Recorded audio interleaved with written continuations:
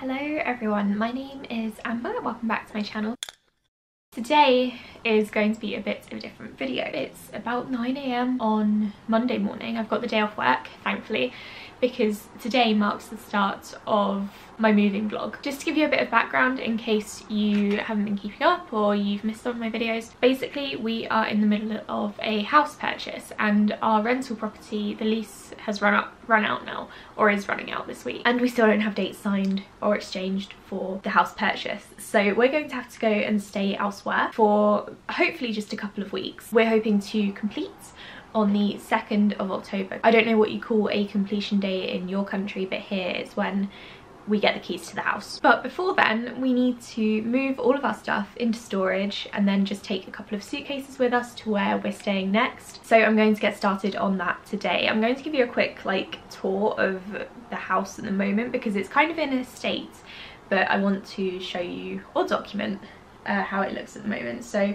I've already disassembled my bookshelves, put a few things away, but nothing is in storage yet, so we're going to do some of that today. And then throughout the week, I will keep giving you updates until moving day. We are moving out of here on the 18th, which is Friday, so five days from now, because we then have to get cleaners in for the kitchen and the bathroom, and we need all of our stuff to be out of here by then so we can tidy the rest of the rooms and hopefully get our whole deposit back. So it's a bit of a juggle or juggling act to get everything done, but I think I can do it. I'm not feeling too bad about having to stay somewhere else for a couple of weeks until we purchase our house. I am a bit worried it's going to drag on for a month or so, but I think the main thing that's worrying me right now is COVID. If we go into another lockdown, I'm worried that the estate agents will all close again and we won't be able to move in at all until that lockdown is over. So that's the main thing that's worrying me right now and it's another reason that we're trying to push our sellers sellers to complete as soon as possible because they're the ones who are being slow because we're worried about another lockdown. Sorting out the house and moving things is kind of calming me down because I feel like I'm making progress.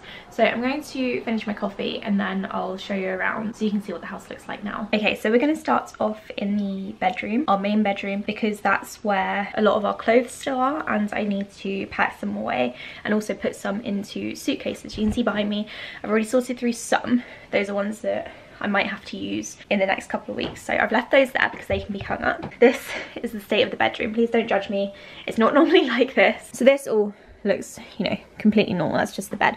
But here we used to have this massive like triple wardrobe, which I gave away for free on Facebook Marketplace because we didn't need it anymore. Our new place should have a built-in wardrobe, so we had no need for it and I thought I'd give it away for free in case someone needs it more than we do. We've got these three drawers. They're currently full of clothes, so I think I'm going to try to pack some more clothes into them before I take them to storage. So I've got a pile there to go through, some are Quill's actually, so I might have to wait for him to come home. And then this chest of drawers is also going to go into storage, but I think we're going to need the van for that. So I'm going to go through some of the clothes in the drawers. These three are mine. And then figure out which clothes I'm going to need. Oh, hello. She has no idea what's going on. Figure out which clothes I'm going to need in the next couple of weeks and then put the rest in storage. I've also got some clothes in there that I need to sort out as well, but I think most of those clothes will be coming with me because it's like underwear and stuff. So yeah, first of all, I'm going to go through these and then I'm going to go through those. Octavia, you gonna help? She's feeling a bit antsy because everything keeps moving. She does not like the furniture moving about. You're no help at all. So I'm going to start going through these now and then I will let you know how I get on in a bit. Okay, so I filled up those boxes. I didn't bother putting any of the clothes in. I actually put bedding in instead and I've still got all of, all of this bedding and towels to do something with. So I need to figure out what it is I'm going to do with those I think. We do have some boxes so I think I'm going to put them in boxes and then maybe wrap our plates in them. That should hopefully protect them. So now that I've done that I'm going to show you quickly what the library room looks like because it looks entirely different now. I've only shown you this a couple of times. I was going to do a full library room tour but we weren't in the house for long enough to be able to do that. So this is what it currently looks like.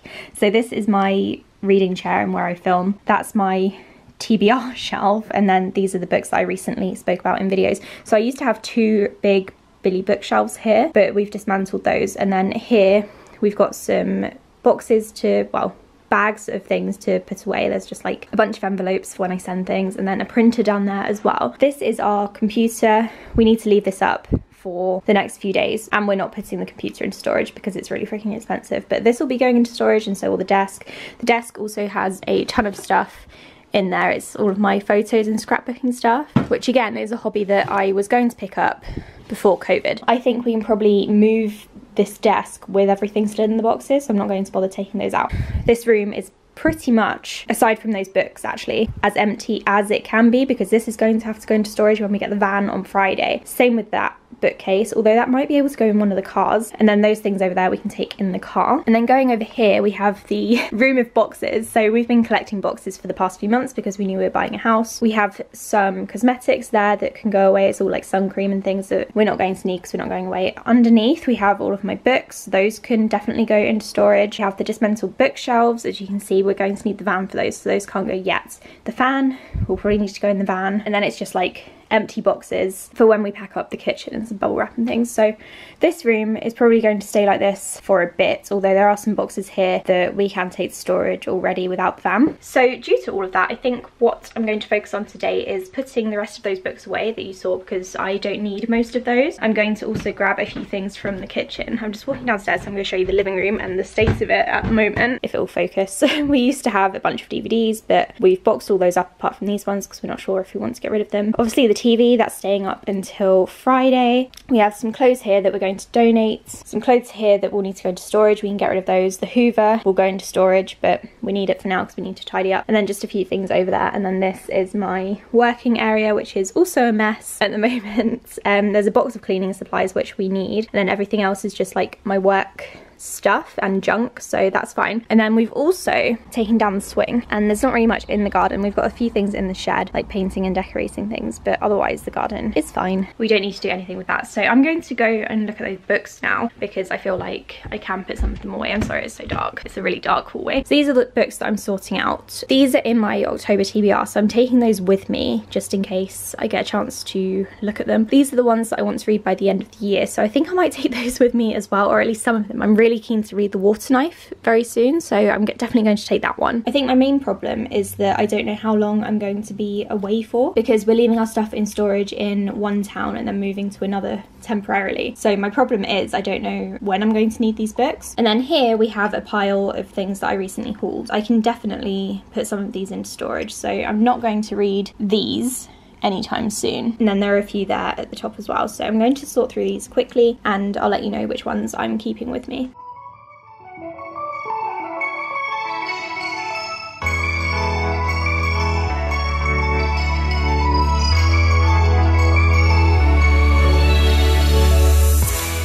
Okay, so these are the ones that I've decided to keep with me. They're the ones from my October TBR. And then also, like I said, really excited to read this one. This one's quite short, so I've decided to keep that one with me as well. Foundryside I was supposed to read in August, so I kind of want to keep that with me in case I get a chance to read it. And then Shadow of the Wind, I'm kind of in the mood for, to be honest, so I'm going to keep that with me as well. So then, moving over to this bookshelf, which is a bit of a mess at the moment. This is the outstanding September TBR. So I'm going to try to get to most of those apart from this one. Actually, I can put this one away somewhere. On this shelf, we've just got a couple of books. I can definitely put that away because I keep meaning to read it, but I'm probably not going to. So that can go on the away pile. And then down here, we've just got a few that I was going to try to get to, but I probably won't anymore. Ignore these. These are Quill's from another time. I was going to try to read these two before October, but I've heard bad things about them, so I don't know if I'm going to now. So I'm going to put all of these ones away into storage. And then here we have a bunch of books I'm giving away. So these ones are going to charity. These ones I'm going to recap and then give to charity. So I'm going to try my best to do that this week, but it's, yeah. But I'm going to get to as many as possible. And then that will be all of them. It's such a tiny pile. I'm obviously also taking my Kindle, so I won't be completely without books if I do want to read something else. What is going on with this camera? so I've made a tiny bit more progress and I've had lunch so I'm feeling quite good. There's only so much I can do at the moment because obviously I don't have access to the storage locker yet so I can't actually move anything out of the house so I need to wait for Quill to do the check-in for the storage locker and then we can start actually moving stuff but this is what the library room is now looking like. We've got the Xbox box where we go put the gaming consoles in there. Here's the chair which I can't move until we get the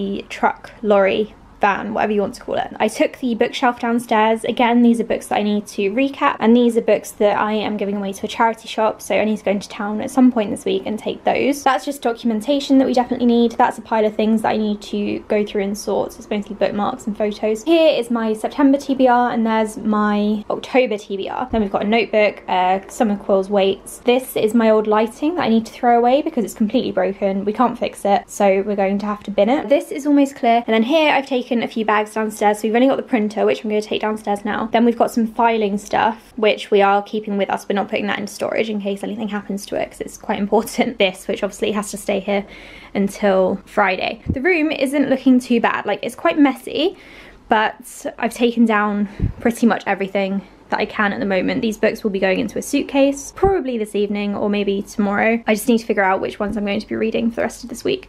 So that's how that's looking. I think I'm going to take a few more things downstairs just to put them down there. Then I'm going to do a quick hoover the first of many, I'm sure. And then I'm going to take a quick break and watch some YouTube videos, I think, because like I said, there's not really much I can do because we're still living here for the next four days, so I can't pack up anything for the kitchen and I can't take anything out of the house yet, so I'm just kind of waiting. But I feel restless, so I feel like I need to pack up a few more things if I can. Okay, so it's now Tuesday and I'm going to end the vlog today just so I can start another one in a couple of days because otherwise these vlogs are going to be very repetitive. So last night we did the first run to the storage container, storage unit, whatever you want to call it, and it was a success. We got rid of quite a lot of stuff. I'll show you actually. First of all, in the storage container is so easy to use. I can talk about this more in another video if you want me to, if you want to know kind of the details on the what's required for a storage unit. But basically, you show up, put your pin in, which you get beforehand, beforehand. The big door opens, then you go through a smaller door and you grab some trolleys. And we took two trolleys worth of stuff, which was like a bookcase, no, two bookcases, and then a few smaller boxes. You put everything in the lift if you need to go upstairs, and then you just drag your, or push your trolley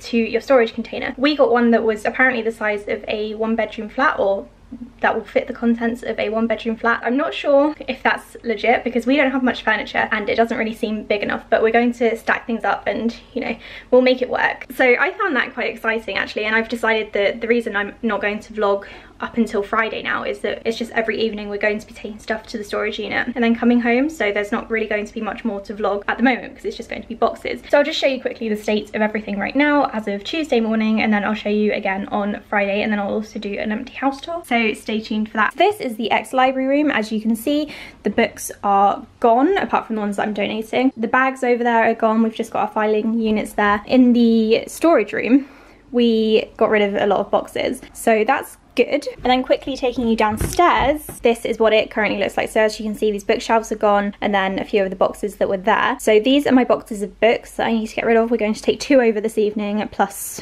maybe those and some other stuff. Back there is a box of bedding. So we're going to fill that up with some kitchen stuff that we won't need, need for the next couple of days. So we are making some progress, except we're not really making any progress with the actual house because no one's gotten back to us about a date or exchange of contracts yet. But we're chasing that up and hopefully they'll get back to us soon because it is really stressing us out. But at least our stuff is being stored so we don't have to worry about that for a while. So I'm going to end the vlog here. Thank you so much for watching. If you're new here, please like and subscribe. I do normally do book videos, but I decided to start doing some lifestyle moving videos because I'm meant to be purchasing a house and it's meant to be like the most exciting time, except it's just turning out to be stressful. So thank you for watching and I'll speak to you all in the next video. Bye.